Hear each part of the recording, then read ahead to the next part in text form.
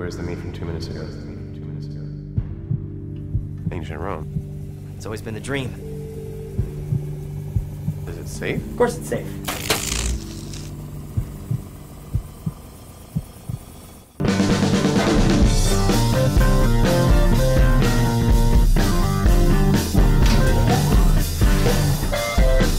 Felt so awful about how I treated the guy. No! I went back in time to do it over again.